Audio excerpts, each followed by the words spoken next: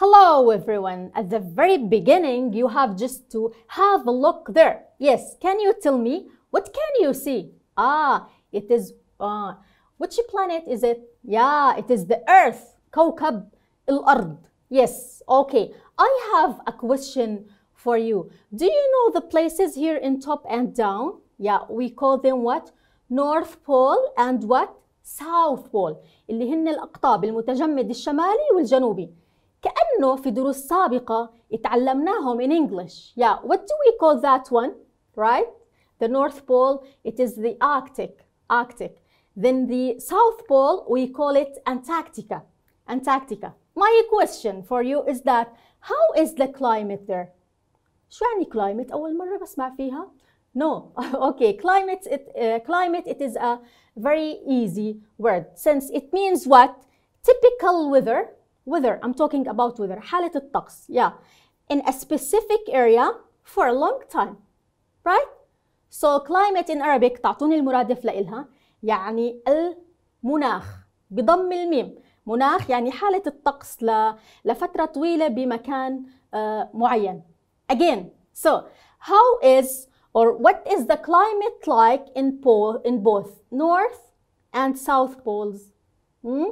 Yeah, it is very cold. Okay.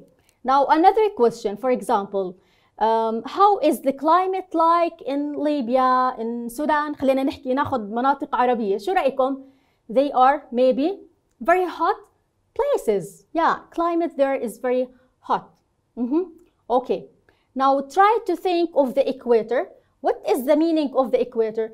Uh, as you can see there, it is a line, line that, by the way, is it a real or unreal? Yeah, it's unreal. هو خط أو خط الاستواء هو مش خط حقيقي. Yes, so it divides the earth into two equal parts. My question, okay? What is the like, or sorry, what is the climate like near the equator? Uh-huh, it is hot and wet. It is hot and wet. So today we are going to talk about weather and the climate. Can you differentiate between them? فيكم تميزوا شو لما أحكي weather شو يعني عم بحكي؟ بحكي عن حالة الطقس. Right? So in English it means what? Um, uh, temperature and other conditions such as rain, for example. Yes. So again, weather which means حالة الطقس على الأغلب بتكون لفترة قصيرة. But climate, yes, I'm talking about typical weather conditions, حالة الطقس for a long time in a specific area. So now, dear students, can you differentiate between weather and climate?